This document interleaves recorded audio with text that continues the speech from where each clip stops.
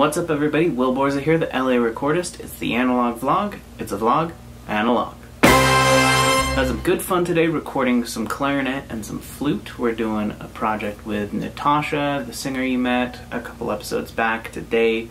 Uh, recorded my roommate Ian on woodwinds. Super fun. I figured I would show you a little bit of some of my microphone technique and just good microphone etiquette when it comes to recording woodwinds, where to put the mics, that type of thing. At the end, I'll show you what we did. So without further ado, here is Ian and myself explaining proper woodwind microphone technique. It's the idea with recording flute. When Yeah. you're recording your buddy on flute, you want to put the microphone above where he is blowing because you don't want the microphone just to be picking up a bunch of wind. Also, the pop filter helps too. See how that works? Listen to this guy, he knows what he's talking about.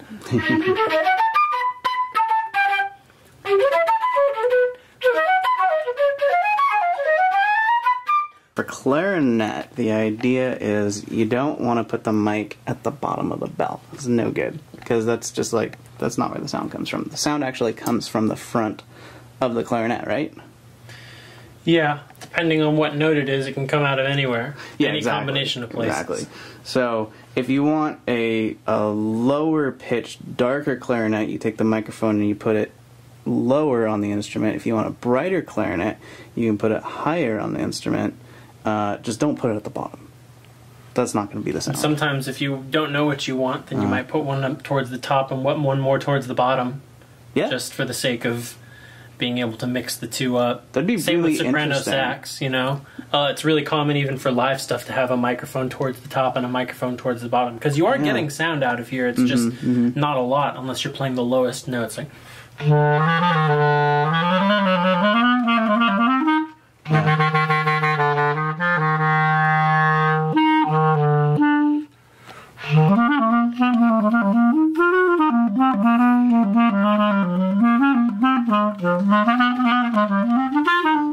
So it'd be really interesting to put an XY stereo mic up and down here. So the you know left mic is looking at the low end and right mic is looking at the high end.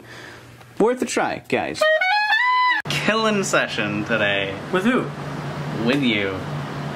You're rocking it. This guy knows how to play like every instrument. No, he's lying. Ish. He's not telling the truth. It's, it's more accurate than he's saying. Uh, I think this microphone is shot. Uh, I was trying to use it for talkback, and uh, it didn't seem to be doing the job. It says Shure KSM 32 on it, but um, it has an interesting grate. It's very tight knit, and my other KSM 32s are a little broader. Maybe I can show you. Look at this.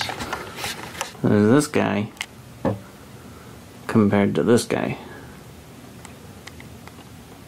See a difference there? It's supposed to be the same microphone. I don't know what's going on. It just, you plug it in, it sounds very scratchy, and the audio doesn't really come through as clear. So I'm gonna test out. Good to know. Good to know not to pack this for a session. I really do like the idea of doing a XY stereo on a saxophone. Maybe use something like this and put it right on the sax so that the uh, left gets the lower and the right gets the higher. Be worth trying out anyway. Something important when you're recording instruments like this, you need to realize that no one actually listens to a saxophone by sticking their ear right next to the bell, or for, to the body for that matter. When you listen to a saxophone, you're listening, you know, from five feet back, ten feet back, 30 feet back.